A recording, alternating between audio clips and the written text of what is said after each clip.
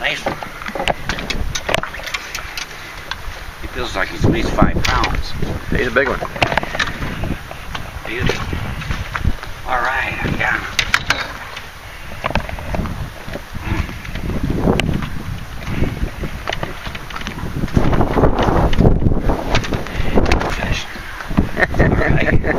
there he goes. Well, this video is going to be about uh, getting ready for uh, gar pike fishing. Because I was thinking going fishing tomorrow, but I didn't really know what to go fish for, and it's August. And I remember last year, my, my son and I went for gar pike. We seen some videos online where they took, you know, rope and they took this part of an old stringer. They took a variety of different things and just put it on hooks. Well, we're going to super glue ours on. And when when the gar bites it, the hook, the only purpose of the hook is to hold the bait. What's going to catch the gar pike is the material. Material's going to catch him. He's going to get his teeth caught in there. I got uh, two or three videos already online where where uh, where we caught gar pike, and you can see us using these in the videos. But I figured I'd do a video on it, so I had a friend that fishes the canal a lot. He's been getting lots of lots of good runs and bites, but then but then when they pull, they get nothing. Well, that's what happens with the gar pike. They'll just pull your bait off. But with the material, they'll get their they'll get their teeth stuck in it. And this is for the long nose gar pike. That's what we got in New York State. They don't get monstrous, but we caught. My son got one about 10 pounds, and the state record isn't much more than that. I don't know, maybe 15. But they're fun to catch and something to do. So I'm going to get started making these. Let's give her a go, Max. I'm just taking some of this material and I'm just going to wrap it around here. A couple times, wrap it on, wrap it on the hook. I don't, I, you don't want to get the glue on the eye, so just wrap it around there two or three times. No.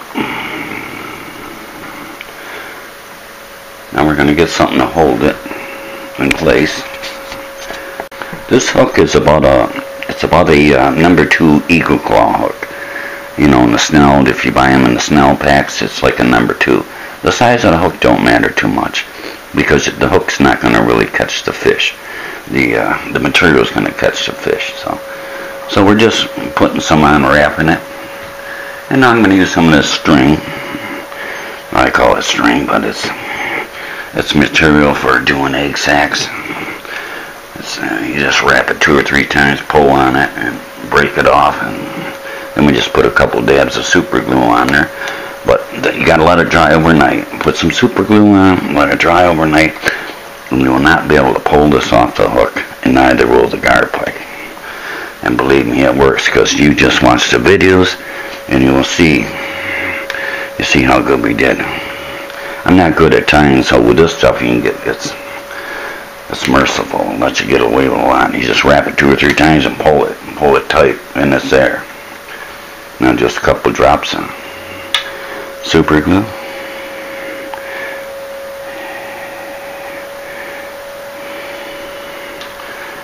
And that one's pretty much good to go. You know, let it dry and then you can stretch it out like that. Piece piece of bait on that hook. You can have this longer too. We we make some longer, shorter, but I'm just doing this for demonstration. Put your bait on the hook and and uh, they'll, they'll get the bait, but they'll also get the thread, and they won't be able to get their teeth out of the thread, and you will catch them. Because I've lost so many fish. I was getting bite after bite after bite, and runs they take it, and I pulled nothing. Couldn't set the hook. I tried circle hooks. I tried regular hooks. And then I watched a couple videos of someone doing this.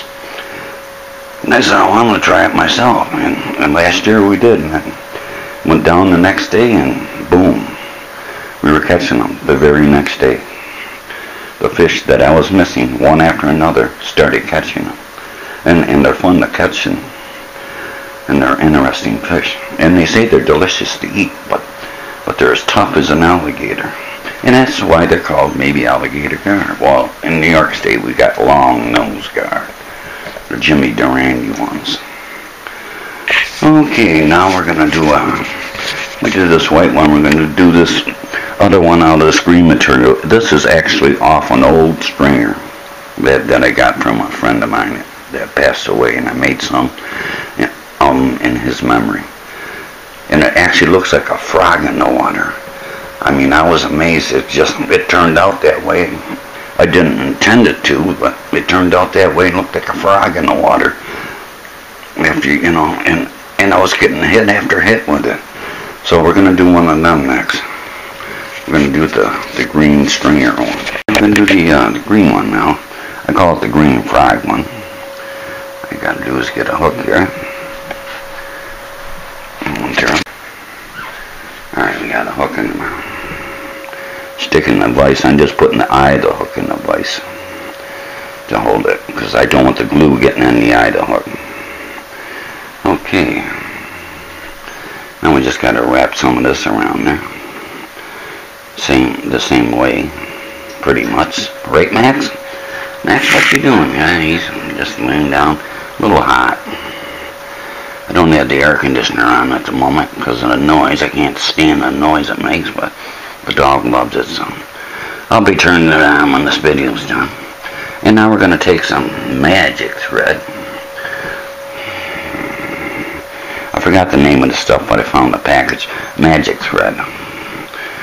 Some of this magic thread works great. This stuff is great stuff. We're going to take some of this magic thread and just that's what it's called right here. Magic thread. Magic thread. Use that for doing egg sacks for salmon. For salmon eggs. Trout eggs. Here's this red, This, this is green. See, we're doing green. I'd like a little green on there. I ripped a smidge of it off. And all we gotta do is put it in, wrap it three or four times. It three or four times, give her a pull, and you're good to go.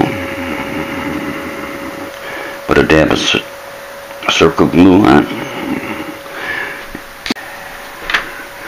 And we just put a couple dabs of super glue on here.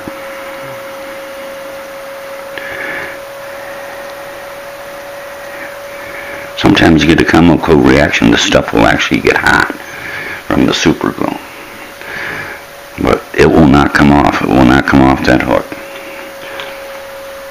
You'll you will break your line be, before the before the stuff, stuff will come off the hook. The fish will break your line first. It stays on that good. But you gotta let it dry dry overnight. You let it dry overnight and you're good to go. And this will look like a little frog coming through the water. But we're basically fishing on the bottom. Put a put a piece of bait, live or dead. You can you can use a live one, you could put live bait on there. But but we usually uh, we just chunk our bait up. If I'm using chubs, I'll cut them in pieces or just step on them. You know, and fresh. You know, fresh. Fresh is always better than frozen, but frozen will work too. You could use crayfish or whatever, piece of shrimp. They're they're not too fussy. They'll almost bite on almost anything. I'm I'm pretty sure them pipe will. So you know, it's only my second year of fishing for them, but but I didn't know how to catch them, but now I do now. Now we'll see how many we get. I think we may go tomorrow, depends on, you know, depending on uh, what happens in the morning. I think we may go tomorrow, I don't know for sure. We'll wait till we wake up, and if the good Lord's what says, me and Max will be headed for the old orchard and see if we can catch some garpike. So folks, you want to try some different type of fishing, give garpike a try. Long nose gar in New York State. I don't know. I, they're, they're in other states too, but we don't have the big, big gar pike like they do in the South. But they're fun to catch. So, and this this lure is cheap to make. Just put some bait on it, and, and you're good to go. Throw it out there and just wait, and uh, they will hook themselves. I guarantee it. Guaranteed. Alright, thanks for watching our videos. May the good Lord take a liking to you. And don't let the game vultures get you, Max. They're coming for you, bud. They're coming.